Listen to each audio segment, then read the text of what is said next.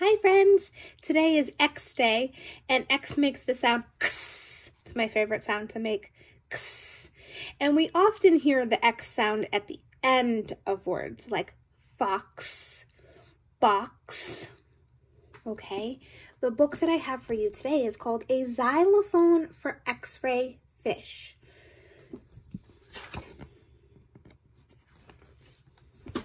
Today, X-Ray Fish feels extra special. It is his birthday. X-Ray Fish is expecting friends for a party. You're going to hear a lot of words that have the x sound in the middle, in the end, not really at the beginning. The party is extremely fun. Everyone plays pin the tail on the seahorse and other exciting games. At last, it is time for X-Ray Fish to open his gifts. He knows exactly what he wants. A xylophone.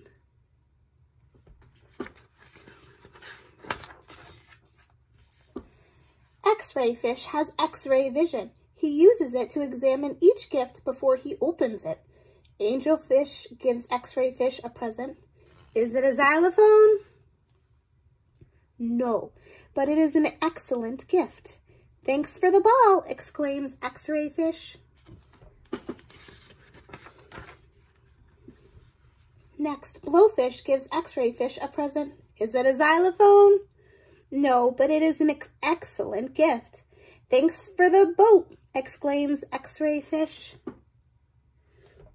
Imagine if you could look into presents before opening them. Then, Tigerfish gives X-Ray Fish a present. Is it a xylophone? No, but it is an excellent gift. Thanks for the teddy bear, exclaims X-Ray Fish. You think he's going to get a xylophone?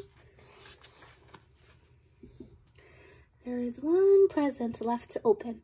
The tag says, to X-Ray Fish from Mom. XOXOXO. Hugs and kisses, hugs and kisses.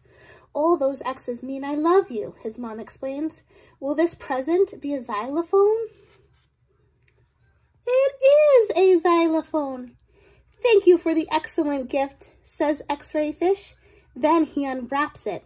It is exactly what I wanted. X-Ray Fish plays happy birthday on his new xylophone. All his friends sing extra loud. This is time to... Oh, sorry. Then it's time to eat cake. X-Ray Fish is excited. With his X-ray vision, he can see it is his favorite kind, chocolate with seaweed filling. Mmm. Oh, how many xylophones can you find in this picture?